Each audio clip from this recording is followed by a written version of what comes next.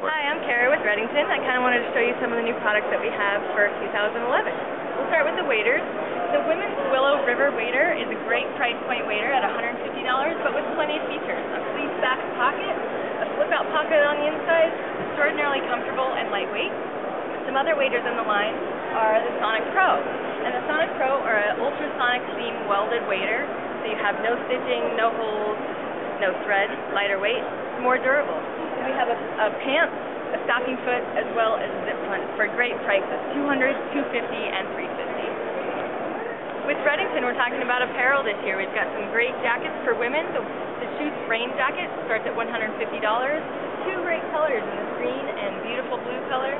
We've got apparel that's fit just for women um, with great technical features such as UPF 30, quick dry, fast wicking, and great shorts to go along with it.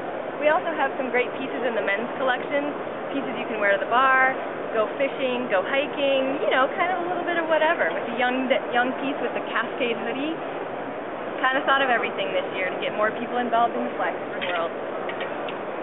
Hi, we're talking about the Pursuit series from Redington today with the new reel at $60, fully metal, very nice looking reel, as well as the rod.